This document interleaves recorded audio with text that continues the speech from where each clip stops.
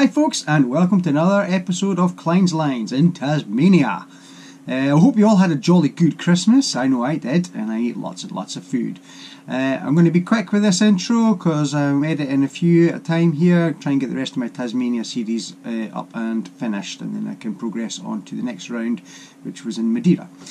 Uh, so, without further ado, let's just bash on to stage three of uh, Derby in Tasmania. Um, there's a wee intro bit of me talking about how I felt I got on on uh, stage one, which was a prologue on the first day. Um, it was a track that I rode, I felt I rode it pretty damn good, but I got my ass handed to me on it, so hey ho. Um, no footage of that stage, unfortunately, uh, and now I'm starting to rabbit on, so uh, let's just get going. Good morning. Beautiful morning. You have to watch out for any kangaroos. We don't hit any wallabies or possums or echidnas. There's road, roadkill everywhere. Even some chickens, unfortunately, or hens. What was it? Rooster. Anyway, we're on day two racing of uh, Tasmania. So I overcame all my fears of doing all the big massive jumps. And they were big. We were talking 35 foot gap jumps. I haven't done anything like that since about 2008 um, when I broke my foot and uh, was terrified to do any man-made jumps since then, which wasn't very handy considering I had to go on holiday to Whistler at the back of that. anyway, um, yeah, so the big stuff is kind of over and done with. Uh, the tracks today are a hell of a lot more technical and gnarly. Massive rock gardens and features to ride through. Uh, the infamous narrow gap that everyone uh, likes to take a photo of um, de- on Detonate Trail. That's the first trail up as well. I mean, that's going to be a rude awakening for sure. Um, so I'm just going to try and keep it together, right smooth. Um, there'll be a lot of pump track involved as well, which is where I'm really going to let myself down, not for crashing and that, but just not. I just don't. I don't ride that sort of trail, and therefore I don't know how to maintain pace on it.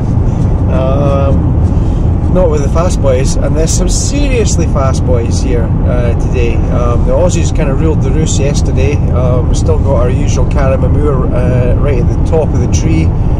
Um, there's another French guy came second, just a few seconds, the, maybe even one second at the back of him. Then uh, Michael Beeston, um, no, not Michael Beeston, I don't know his first name, but Beeston came third. Um, now this guy's an, an enigma for me.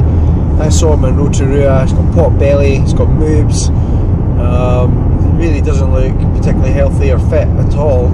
Um, and then uh, I noticed his number board was 704, which means he's fourth seed. And I'm like, really?